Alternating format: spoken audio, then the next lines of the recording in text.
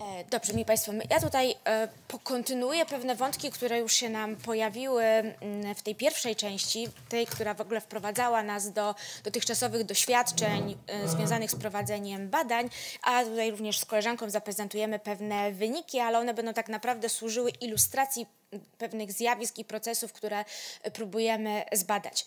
Mm, zatytułowałyśmy ten, ten, to wystąpienie w taki sposób, chociaż tak naprawdę chciałoby się powiedzieć, że tam powinno być coś jeszcze i za chwilę powiemy e, co, ponieważ jest to wyraźniej pewna ścieżka, pewna droga, w którą, na którą weszłyśmy, czy weszliśmy i ewidentnie nią e, podążamy i właśnie tym doświadczeniem chcielibyśmy się tutaj z Państwem e, podzielić.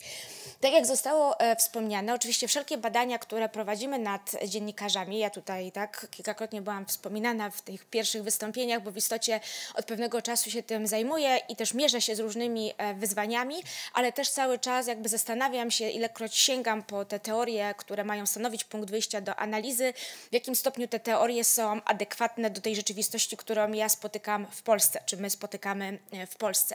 Jest w tej chwili taka tendencja, można powiedzieć wręcz pewna moda, żeby w istocie sięgać mocno po teorie i koncepcje, które wywodzą się głównie ze Stanów Zjednoczonych, ale także z Europy Zachodniej. One mają swoje zalety, one nam w istocie bardzo porządkują e, wątki dotyczące mm, podstaw teoretycznych, ale pozostawiają też spory niedosyt w zakresie tego, co później otrzymujemy i jak interpretować wyniki, które uzyskaliśmy w nawiązaniu właśnie do tychże teorii.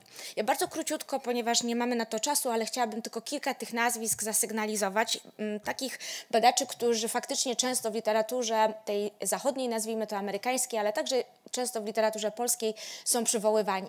Jednym z nich jest Calbertson, to są lata 80. Stany Zjednoczone. Chciałabym tylko przypomnieć, że nawet w tytule jego książki jest, że to były badania nad dziennikarzami amerykańskimi. W związku z tym te trzy postawy, które on wyróżnia, czyli tradycyjną, neutralną, tradycyjną oczywiście w znaczeniu tradycji amerykańskich, interpretacyjną i aktywną, to są faktycznie te postawy, które znajdujemy w szeroko rozumianym, chociaż dzisiaj bardzo intensywnie dyskutowanym, tu już to się pojawiło, modelu liberalnym mediów w Stanach Zjednoczonych. Ale ta koncepcja stanowi bardzo często punkt wyjścia, żeby wskazać, że tak, dziennikarz może pełnić rolę po prostu informatora, chciałoby się powiedzieć reportera, relacjonującego to, co się dzieje, może dostarczać pewnej interpretacji, czyli wyjaśniać, tłumaczyć, ale może również sam włączać się w dyskusję e, nad sprawami społecznymi, czy sprawami politycznymi, czy szeroko rozumianymi e, publicznymi. To też było podstawą dla koncepcji, którą zaproponowali Weaver i Wilhot w latach 90. i która również stanowi punkt wyjścia dla wielu badań, między innymi tych, które które e, realizowaliśmy z panem doktorem Szymonem Osowskim i też tych badań, które wcześniej w latach 90. realizował pan profesor Olencki w tej pierwszej edycji e, projektu, o którym już tutaj Państwo słyszeliście. I tu już pojawiają nam się cztery. Rozpowszechnianie informacji, interpretacja i komentarz, monitorowanie i krytykowanie ośrodków władzy oraz mobilizowanie i edukowanie społeczeństwa. Proszę zobaczyć, że to wszystko są założenia, że dziennikarze funkcjonują w modelu demokratycznym, że to są wolne media i że nie ma tutaj jakiegoś podporządkowania czy wręcz kontroli e, mediów przez państwo. Co oczywiście wiemy, że w wielu systemach medialnych wciąż obserwujemy. Sięgamy też często z pewnym sentymentem do tych koncepcji, które wypracowane zostały na gruncie polskim.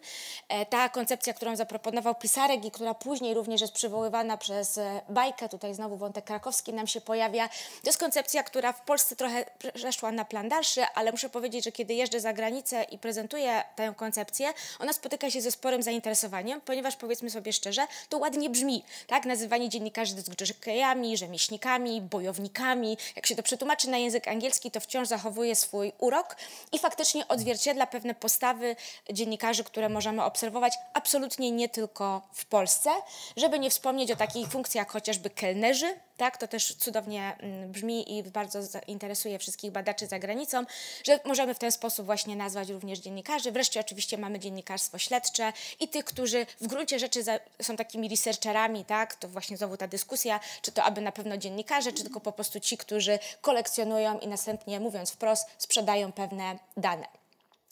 Są bardziej współczesne koncepcje, chociażby koncepcja kultur dziennikarskich Tomasa Hanicza, czy też właśnie już wcześniej wspomniana koncepcja Claudii Mejado. Te dwie koncepcje łączy to, że starają się one uchwycić bardziej szczegółowo, wielowymiarowo te podstawowe funkcje i role, które dziennikarze mogą pełnić.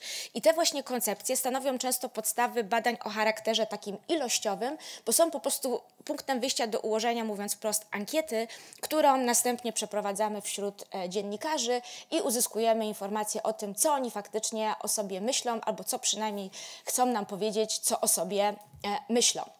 I to są właśnie te podstawowe metody, które znajdujemy. Była już mowa o pogłębionym wywiadzie. My parę dosłownie słów o tych badaniach ankietowych oraz analizie zawartości i zresztą kolejne wystąpienia też tego dotyczą. I chcemy tutaj jakby pokazać pewien problem czy pewne wyzwanie, rzecz, która nas niezwykle intryguje. Jak zbadać spójność pomiędzy tym, co dziennikarze deklarują w wypowiedziach ankietowych, z tym, co oni faktycznie robią. I to jest to, co w języku angielskim nazywa się z jednej strony tym perception, a z drugiej strony performance, czyli mm, wykonanie. No więc oczywiście, że możemy zacząć od badań ankietowych i tutaj dosłownie jeden przykład tych badań, o których już wcześniej była e, mowa, czyli tych, które prowadziliśmy z doktorem Osowskim e, i które były właśnie tam e, elementem badań międzynarodowych prowadzonych przez Weavera i Wilnata wtedy już, jego e, ucznia. Tutaj punktem wyjścia była dokładnie ta koncepcja, o której Państwu wcześniej mówiłam. E, mierzyliśmy się z tymi wyzwaniami, o których tu już wcześniej była mowa, więc nie będę tego e, powtarzać, ale jeden wątek, na który chciałabym zwrócić uwagę, to jest właśnie to, że mamy pełną świadomość świadomość tego, że to, co dostajemy, to jest tak naprawdę autoprezentacja dziennikarska. Tak, oni składają pewną deklarację, opisują swoje środowisko i to, co robią i jakie role media powinny pełnić, natomiast niekoniecznie dostajemy wiedzę o tym, co oni faktycznie czynią. I tym bardziej tu chciałam Państwu zwrócić uwagę na wyniki, które uzyskaliśmy. Mianowicie nas tutaj, już tak troszkę mówiąc potocznie i żartobliwie, niezwykle wzruszyło to, że jednym z głównych ról, czy jedną z głównych funkcji, na którą polscy dziennikarze deklaratywnie zwracają uwagę, to jest rozwój kulturalny i intelektualny społeczeństwa. Tak oni bardzo wysoko e, cenią i uznają, że jest to niezwykle ważna e, funkcja, którą media powinny pełnić. O praktyce rozmawialiśmy sobie już trochę w części pierwszej, w związku z tym nie będę na to zwracać uwagi. Natomiast chciałabym podkreślić te wątki, nad którymi skupimy się za chwilkę, kiedy przejdziemy do drugiej części, mianowicie jako przykład chcielibyśmy Państwu, chciałybyśmy Państwu pokazać relacje pomiędzy tym, co dziennikarze mówią w zakresie tego, czy raczej są po prostu relacjonującymi wydarzenia, czyli tymi nazwijmy to reporterami opisującymi fakty, czy też na ile pełnią funkcję właśnie tego edukatora, interpretatora, tego, kto dostarcza komentarz i e, opinię opinię i ocenę. Jak Państwo spojrzycie na deklarację, widać bardzo wyraźnie, że trzy pierwsze czy cztery pierwsze tak naprawdę związane są z dystansem i relacją, natomiast za chwilę już w kolejności pojawiają się te role i te funkcje, które faktycznie oznaczają wyższy stopień, wyższy poziom zaangażowania dziennikarza w opisywaną rzeczywistość, łącznie właśnie z komentowaniem, wyjaśnianiem, czy wręcz wskazywaniem na to, co ważne, tak? czyli ta agenda e, setting.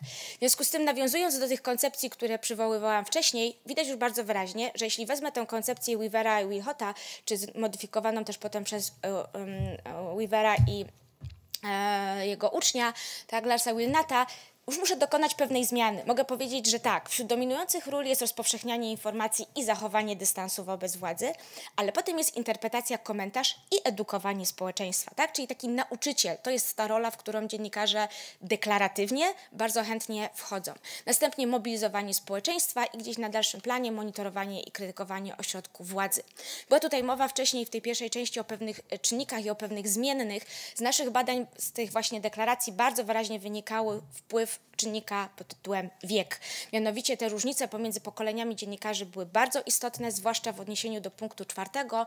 Mianowicie, jeśli wyodrębnimy dziennikarzy, którzy wchodzili do zawodu, czy aktywnie włączali się legalnie do zawodu dziennikarza w okresie transformacji, czyli na początku lat 90., to to pokolenie w znacznie większym stopniu akcentuje funkcję monitorowania i krytykowania ośrodków władzy, bo po prostu wreszcie było im to wtedy dane, mogli to zrobić. Tym samym przechodzimy do drugiej części, do analizy e, zawartości. Za chwilę oddam głos e, koleżance. Tak jest.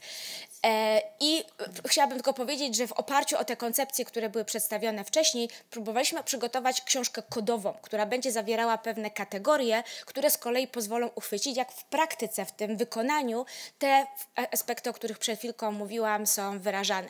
I tam, jeśli chodzi o ten poziom interwencjonizmu, zaangażowania, mamy właśnie takie aspekty jak argumentacja, tryb przypuszczający, opinia, pozycje żądania, czyli propozycje żądania ze strony dziennikarzy, interpretowanie przez dziennikarzy pewnych rzeczy, przy, posługiwanie się przymiotnikami, które mają charakter wartościujący, czyli po prostu oceniam i wreszcie pisanie w pierwszej osobie. I tutaj mamy tylko kilka e, przykładów projektów, do których się odwołujemy. Wykorzystamy ten, o którym była wcześniej mowa, o którym mówił pan dr Setzler, ale jeśli zdążymy, to pokażemy Państwu dosłownie po jednym slajdzie także z dwóch innych badań, żeby pokazać, że kolejne próby analizy dostarczają nam bardzo podobnych e, wyników i prowadzą do podobnych wniosków. E, proszę Państwa, ja w bardzo dużym ekspresowym tempie. Tutaj w badaniach widać wyraźnie deklarowano już wcześniej rolę dostarczania wyjaśnień i analiz złożonych problemów. Tak, szczególną rolę pełni e, interpretacja, Państwo widzicie, a zatem wyjaśnianie, ale nie ocenianie rzeczywistości. Ta ocenia, ona się pojawi e, wraz z opinią. Na tym samym poziomie kształtuje się również argumentacja. E, mm, z kolei sformułowanie propozycji i żądań ze strony dziennikarza pojawia się rzadko. Przy tym należy pamiętać, że udział komentarza w materiale informacyjnym nie dominuje w polskich dziennikach, ale w przypadku interpretacji oczywiście sięga połowy we wszystkich materiałach informacyjnych. Z drugiej strony widać różnice w interpretacji dziennikarstwa w poszczególnych tytułach. E, I proszę Państwa, w dwóch trzecich materiałach prasowych widać pojawia się w Gazecie Wyborczej oraz nieco mniej w naszym dzienniku, co wynika oczywiście ze specyfiki pism wewnętrznych, założeń redakcyjnych e, sprzyjających określonym ugrupowaniom politycznych. Mm, następny poproszę slajd.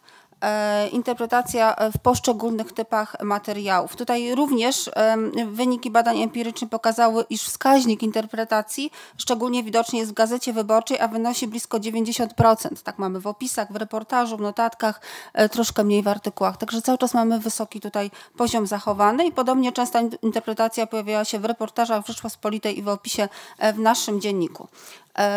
Opinia dziennikarza blisko połowa wszystkich badanych materiałów tak, zawierała własną opinię e, dziennikarza w Gazecie Wyborczej. Tak. Opinia dziennikarska zawarta była również w jednej trzeciej materiałów prasowych naszego dziennika oraz w jednej czwartej materiałów w Rzeczpospolitej i Fakcie. E, kolejny, e, kolejny slajd.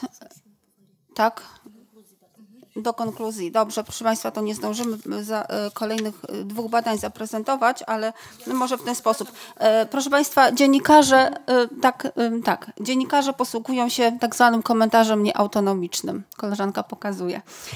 W blisko połowie materiałach typu informacyjnego.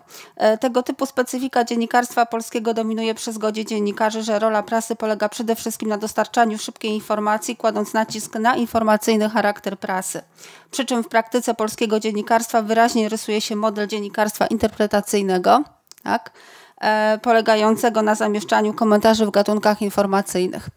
E, wyszliśmy od gatunków, tak? Powołaliśmy się w pewnym momencie, od badań, później były gatunki, powoływał, powołałyśmy się na interpretację polonistyczną, która niezwykle nam pomaga w interpretowaniu naszych badań i oprócz tego opieramy się również o um, europejskie um, badania dotyczące dziennikarstwa interpretacyjnego. Poproszę o slajd, tak? Czyli jest zaprzeczeniem dziennikarstwa opisowego. Tutaj jeżeli dołożymy przykład polonistyczny, to mamy na przykład komentarz autorski jako samoistny gatunek, wychodzi poza ramy dziennikarstwa opisowego. Nasz przykład, opinia, wartościowanie w materiale informacyjnym. Opiera się na źródłach, choć udział komentarza ze strony dziennikarza dominuje nad faktami. I to, co zostało zauważone, tak? zmiana składników wzorca, szczególnie w aspekcie poznawczym, stylistycznym, wzrost roli gatunków mieszanych i poruszonych, tak? czyli na przykład e, informacja jest dominantą publicystyczną, tak? komentarz w gatunkach informacyjnych versus komentarz autonomiczny. Ten komentarz w gatunkach informacyjnych to jest nieautonomiczny, czyli taki, który zawiera się w, inform, w materiałach informacyjnych. E, no i nasze, e, nasze badania medioznawcze też pokazują, że gatunki informacyjne zbliżają się ku publicystyce, przynajmniej mają taki pierwiastek. Dziękuję bardzo. Bardzo dużym skrócie. To ja jeszcze tylko dosłownie jedno tak. zdanie komentarza, tak, tego czego nie zdążyłyśmy mhm. pokazać, to były po prostu kolejne mm, projekty, mhm. które ilustrują dokładnie to samo i tym samym to jest właśnie to, od czego ja zaczęłam, mianowicie zaczęliśmy od um, ankiety, przeszliśmy do analizy zawartości pod kątem pewnych funkcji i ról, co z kolei pokazało nam, że bez właśnie uwzględnienia specyfiki gatunkowej, czyli wchodzimy w kolejny obszar, kolejna interdyscyplinarna kwestia, tak. E, to jest właśnie ta ostatnia droga, czy ostatni ten etap tej drogi, o której mówiłyśmy. Dziękuję pięknie.